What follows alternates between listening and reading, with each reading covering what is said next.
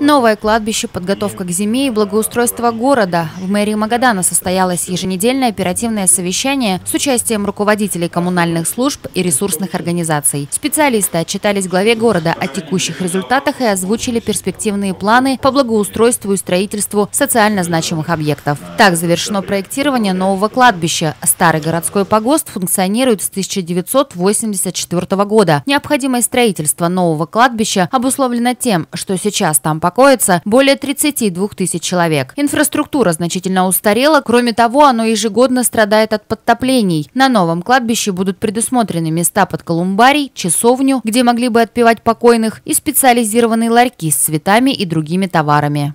Предварительно это так, как мы и говорили. Это противоположная сопка на 14 километре.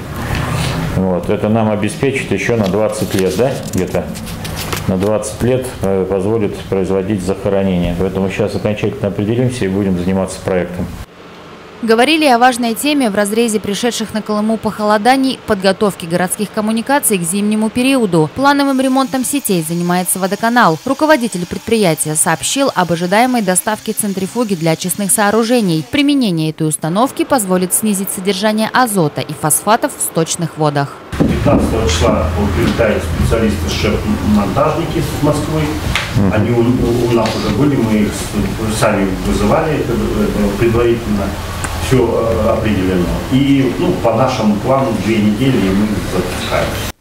Также затронули тему встреч с медведями и, как следствие, лесные пожары. Зачастую люди для того, чтобы отпугнуть животное в лесу, используют пиротехнические средства. Петарды и ракеты становятся причиной возгорания стланника в труднодоступных местах. Граждан убедительно просят с осторожностью отправляться за пределы города и особое внимание уделить собственной безопасности и безопасности окружающих.